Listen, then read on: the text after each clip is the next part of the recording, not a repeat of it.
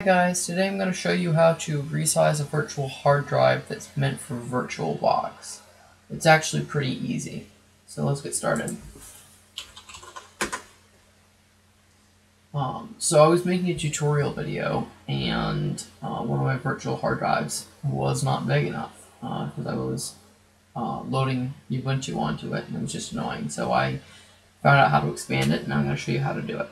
Um, so the first thing you want to do is uh, select the uh, virtual machine that you want to, whose hard drive you want to expand, and click Settings, Storage, uh, click on the hard drive name, just pull this out here, okay? And we're just going to copy this, okay? This, this is the location of your hard drive we're going to open up command prompt with administrator privileges and we're going to type in cd c and now we're going to look for uh, our path to uh, VirtualBox. So go to computer local disk, program files, Oracle, and VirtualBox. And that's what it should be on most computers. It'll just depend on how you downloaded it. So that's what it is on mine.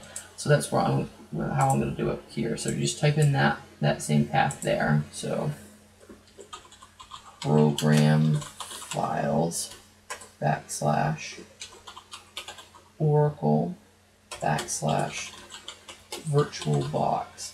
Uh, be careful with capitalization.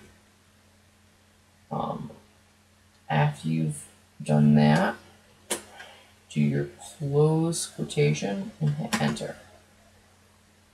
Okay, now we're going to do the second part of the command, so we can just X that out now.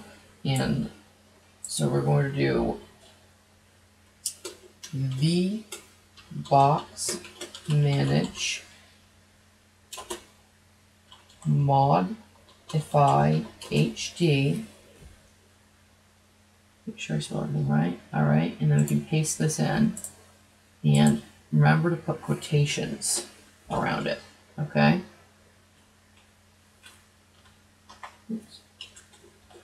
There we go. All right, and then minus minus, resize, and then the size of the hard drive that you want. So I'm going uh, up to 30 gigs, so there we go. And then hit enter. And it's done.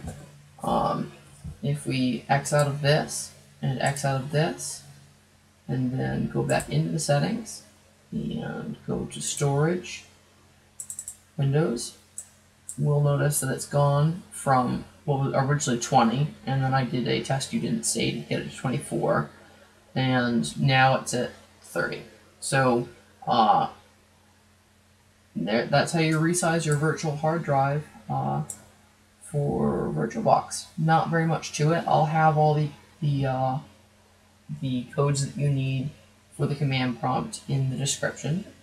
Um, yeah, I hope that you enjoyed this video. I hope it's useful.